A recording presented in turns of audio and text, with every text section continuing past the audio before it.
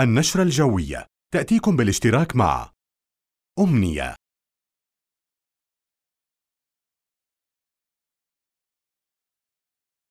بنك صفوة الإسلامي. المناصير للزيوت والمحروقات. مجمع الملك الحسين للأعمال. حلويات الحاج محمود حبيبة وأولاده. المركزية وكلاء تويوتا ولكزس مشاهدينا السلام عليكم ورحمة الله. إليكم الأحوال الجوية المتوقعة. آه، بدأت تتأثر المملكة اعتبار من بعد ظهر هذا اليوم وعصر هذا اليوم بمنخفض جوي. هذا المنخفض الجوي يتمركز تقريبا فوق سوريا وبدأت المملكة بالتأثر بهذا المنخفض الجوي. لكن اعتبارا من هذه الليلة وغدا ستتأثر المملكة بالكتلة الهوائية الباردة نسبيا المصاحبة لهذا المنخفض الجوي.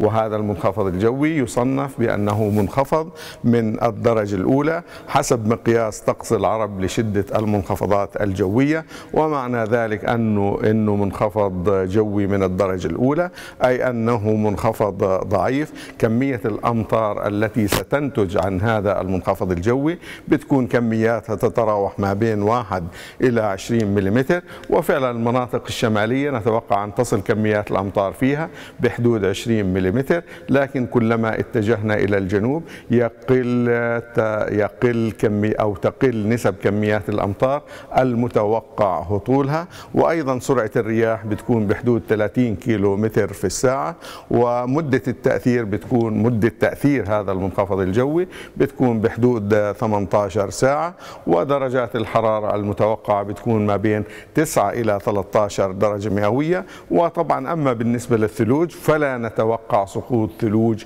من هذا المنخفض المنخفض الجوي والكتل الهوائية البار أو الكتلة الهوائية الباردة نسبيا المصاحبة له.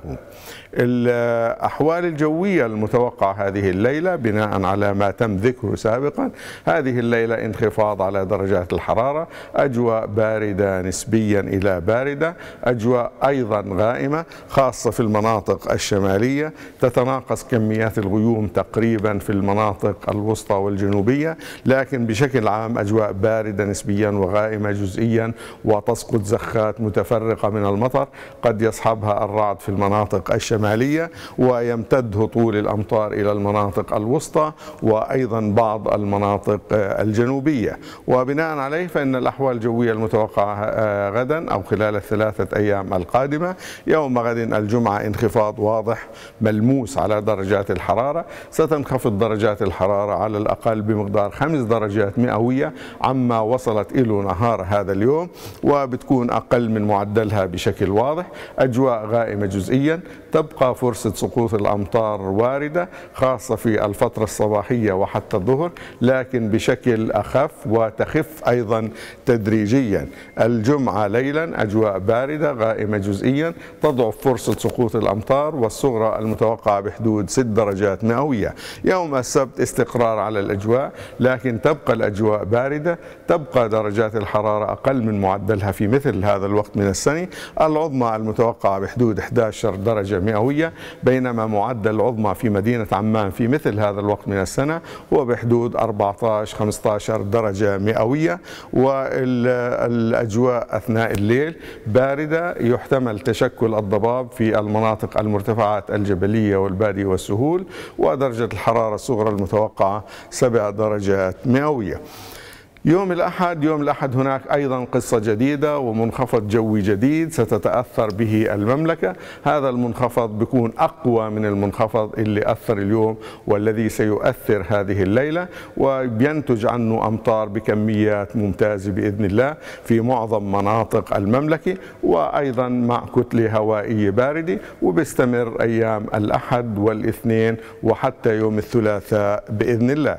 الأماكن التي ستتعرض وتساقط الأمطار نتيجة المنخفض الجوي الذي يؤثر على المملكة حاليا يعني يوم الخميس وليلة الخميس على الجمعة وحتى صباح الجمعة هي المناطق الشمالية تمتد الأمطار وسقوط الأمطار تدريجيا لتشمل المناطق الوسطى وبعض المناطق الجنوبية والشرقية من المملكة لكن أكبر كمية هطول متوقع ستكون في المناطق الشمالية والشمالية الشرقية من المملكة وأحيانا بتكون غزيرة خاصة المناطق الشمالية الشرقية.